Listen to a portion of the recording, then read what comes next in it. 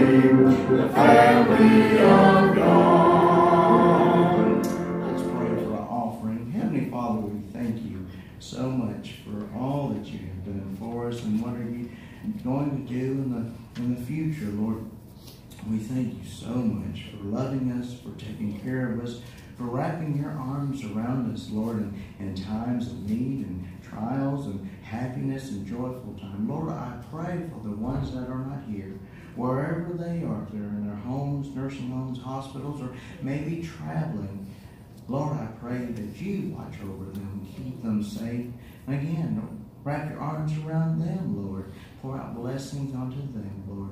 And Lord, we pray for this offering. May we use it to glorify you. Lord, bless those who can give and bless those who can't. In Jesus' name. Amen.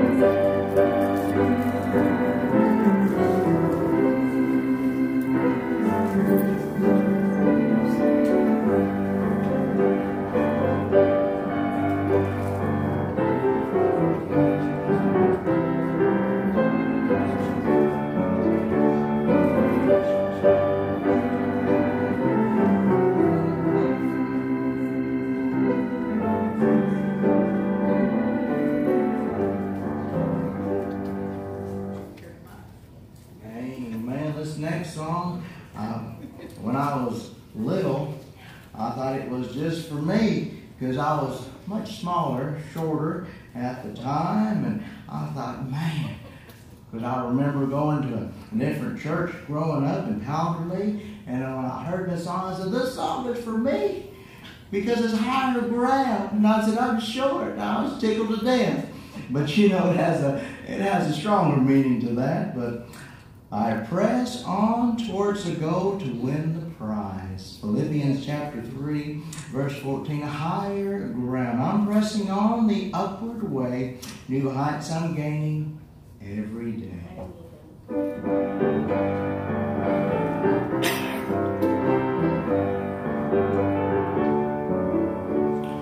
I'm pressing on the upward way, new heights I'm gaining every day. So praying as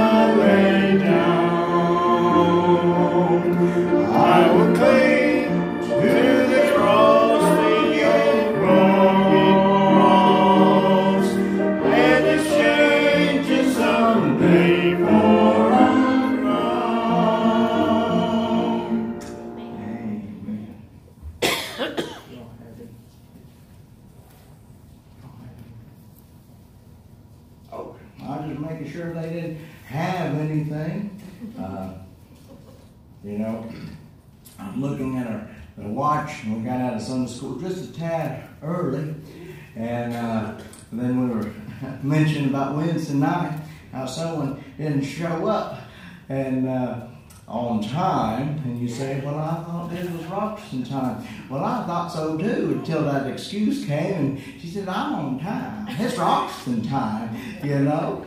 And then I was tickled to death to know that uh, the uh, singers that was here uh, last week they even used that phrase. They said it's Roxton time. I don't know what that means, but I said, well, you're gonna have to you're gonna have to be a Roxton, a living Roxton to know what that means. but uh, it's good. I, I don't even know why we have clocks here. Why, why we have clocks? You know, but just Roxton time. But uh, I know that uh, this morning uh, I throw some uh, scriptures up on the board, but uh, it got me to, to think. Have you ever had a, a project that you are doing, but you didn't have all the tools to do it. Or he thought, well, I'll just use these tools and maybe. Well, the title of this sermon is The Only Tool You'll Ever Need.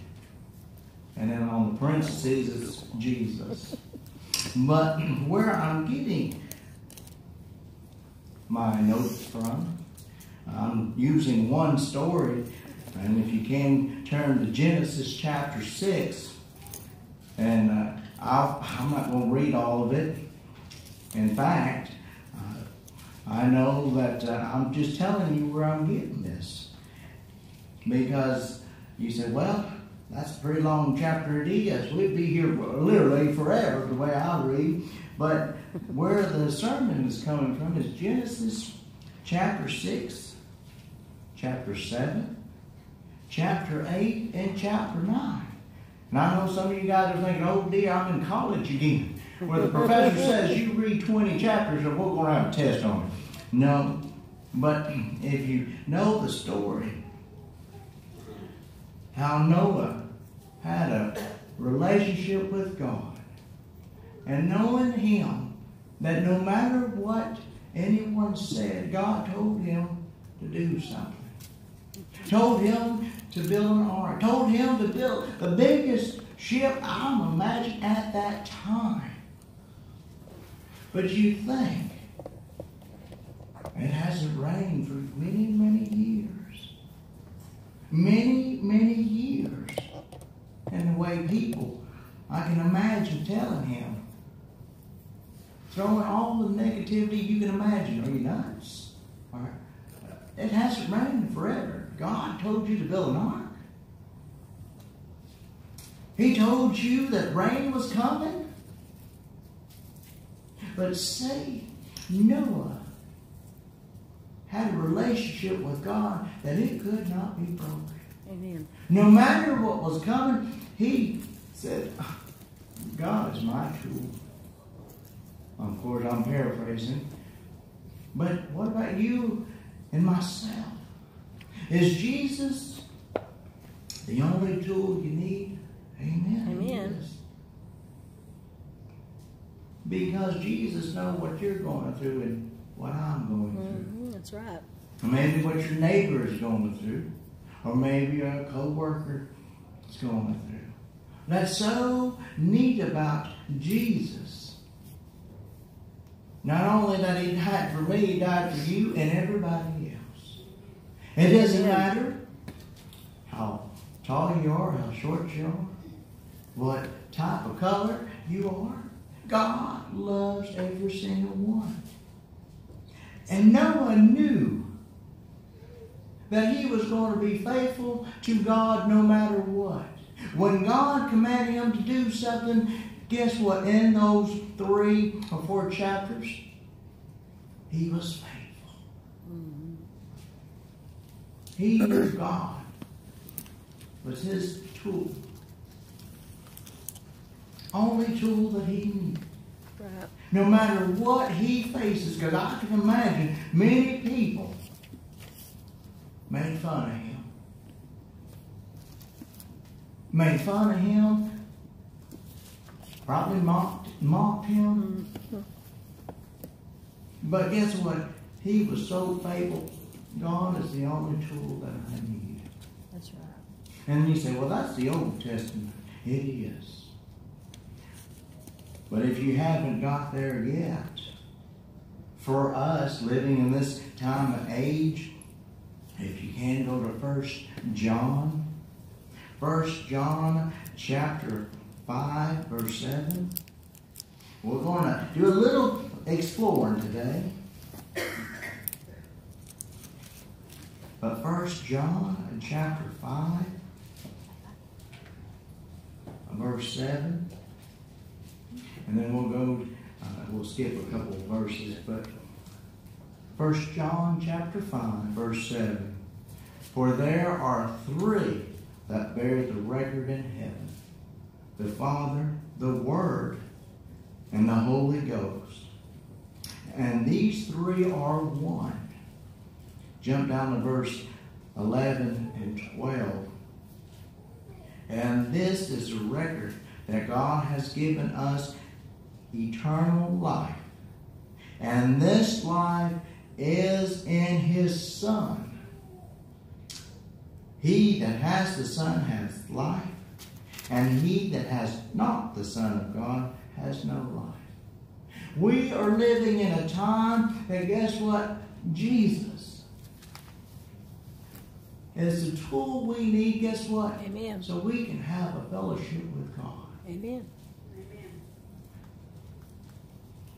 He's the only tool that you need. And It says it right here. That he gives us eternal life. This life is what, a hundred years maybe, give or take? But being eternal life is amazing. Amazing. So, have you ever started a project using or trying to use tools that you knew you're going to try to make it work? Try to make it work. Well, you say, Chewy, how do you come up with these stories? Because I experienced them. About two weeks ago, when we had the heavy rain, I know in the past I was looking at some gutters, and I knew when the previous time that time that I saw water coming over the gutters. I said, oh, I said, it's clogged up.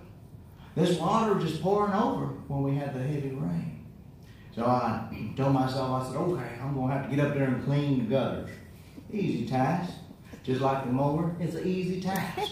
That's all you have to do, just get it down and clean. Just clean. So when it rains, guess what? It doesn't pour over. So I was looking around and I told Melody, I I I got to clean the gutters. Okay. Well, you think it'd be easy. Well, I was looking around and all I could find was a step ladder and I only had two steps on it. She said, well, you think that's going to work? I said, I think it should be enough. I said, I, I don't need to go to the church because the church has a big one. I said, no, no, I just use this two-step ladder. It's all right. I said, I'm going to get out there and clean it because I know we have some rain coming.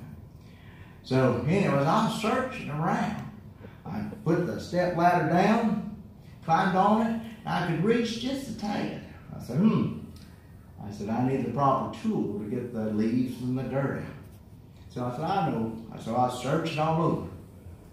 Trying to search all over to find the tool, and guess what I found? The end of a paintbrush long stick I said, well, the Lord provided for me, I'm going to use it. Did I have the proper tools? No. But guess what? My goal was I'm going to clean the gutters. So I stepped on the stool. I could barely reach, and I had a flashlight because it was dark. It was dark. He said, sure, you should have waited. I know. After telling this story, I should. So I got up there, and I had that little stick, and I was going through. I could see the leaves and the dirt falling off. And there was about six or seven friends were there on the wall. And I had that flashlight because it was dark. Find out they didn't like me so much. They were wasps. And I said, oh my goodness. So let me tell you something. Instead of stepping down one at a time, I jumped off the step ladder, swinging my arms around. I know there was truck driving by, and the flashlight was going sideways, sideways. I said, okay. I got it cleaned. I made sure the wasps were gone. I said, okay, get back on there. So I get back up there, and uh, I was clean. I could tell the, the dirt was coming out, so I was making some progress. And so it was nighttime. Did you ever have that feeling at night that someone or something was watching you? Hmm. Let me tell you something. I did. I had a feeling something was watching me, and I thought, well, they were gone. I brushed them away. So I had my flashlight. All of a sudden, I, I could feel a little, little touch. I said, what in the world? So I looked down on my shirt with the flashlight. And there was one wasp wanted to greet me. Well, I didn't want the greeting, so I jumped off again. And started swinging my arms left and right. I said, I know I don't have the proper tools, but I'm going to get this done. It needs to be clean. And I was I was whopping the, sw- uh, the swabs off of me, and it was flying around. I said, okay. So I looked around, made sure all of it was gone. And they were. They, I said, okay. After my two attempts, I said, come on now. This is easy. You get up there, you clean gutter. That's all you have to do. So I got back up there, and of course I wasn't height to height with the gutter. So I had my flashlight, and I was pushing some more. And all of a sudden, the dirt started falling, started falling on me. The leaves started falling on me. And I thought, you know, I'm getting dirty doing this task with not the proper tools you imagine. And all of a sudden, I felt something, a little sting here, a little sting there. I said, what in the, why would dirt be biting me? So I got the flashlight again. And I started looking, and ants were falling on me, biting on me. What did I do? I jumped off again, was wiping them off me as quick as I can. Did I have the proper tools? No. But I guarantee that gold, I finished it. But guess what? The only tool you and I need is Jesus Christ. Amen. Why? Because it's a relationship through the Father. The only tool you'll ever need is Jesus. Can you get through things? Yes, He can. Some of the joyous times, the saddest time, the happiest time can. Even when you don't think you have the proper tools, God will provide. Just like that little story, I didn't have the proper tools whatsoever. But I got the task done. And y'all know the scripture very well. But if y'all want to turn to it, John chapter 3, verse 15 and 16. It's so important. John chapter 3, verse 15 and 16. That whosoever believed in him should not perish, but have everlasting, eternal life. For God so loved the world that he gave his only, only, it means just one, begotten Son, that whosoever believeth in him shall not perish, but have everlasting Jesus, no matter where we go and who we see and what work we do, or if we stay here, or we meet someone on the street, may they see the light that Jesus has given to us. Why? He's the only tool we need. What are you going through? I'm not going through anything. Great. If you ever do, or if you know someone that's lost, tell them about Jesus. Amen. That's why I love to hear testimonies. I do. Why? Because they probably went through something I never experienced. Or maybe I went through something that someone never had experienced. I know there's times that in high school I remember I was sitting in class and someone turned around to me, classmate, and she asked me, Chewy, how do you do it? I said, Well, what do you mean? How do you do it? From losing one family member to another, a father and a brother. I said, That's a simple question. Jesus. I said, He's what I lean on, and He is what I get strength. Amen. Amen. Jesus is the only tool you need. Because you know what? He will provide Mhm. for you and I and the little kids back there. He will. And He will do marvelous things if you let Him. That's why, like I said, I like hearing testimonies. You read the stories about Jonah. We'll just throw this out. When he didn't want to do what God asked him to. Or Moses saying, God, not, not me, I can't talk. Of course, I'm paraphrasing. But believe me, I was in that situation. Not me, God. I can't be up here. I know I can help, but I don't think you called me to do this.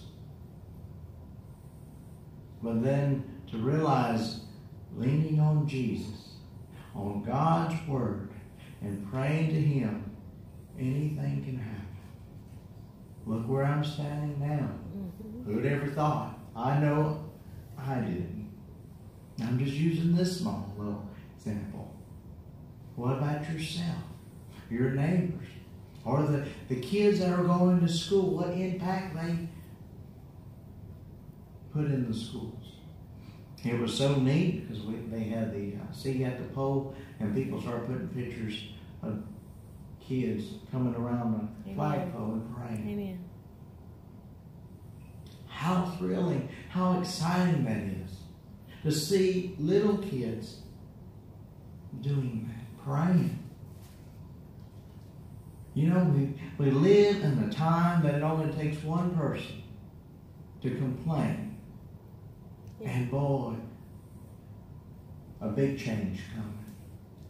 Mhm. Just like over there in the high school where somebody complained about the little cheerleaders putting a scripture up so the football team would run to it or something like that. One little complaint, and the school wanted to change everything. Well, let me tell you something. A lot of people came together. Knowing that they can rely on Jesus, they came together. And yes, did they put it through the courts? They did. And guess what? They're putting scriptures on the banners of the so people could read. Amen. May we lean on him more than ever now. Because you have you ever experienced a tool that you can use in different ways? Like for example, a little multiple wrench that you can change it different sizes and different uh, shapes, and you can use it for different things. Hey, you don't have to look through a toolbox and, and pull out all the tools you need.